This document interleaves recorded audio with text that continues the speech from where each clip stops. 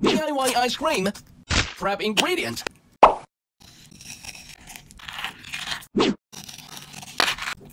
Smash, smash, smash.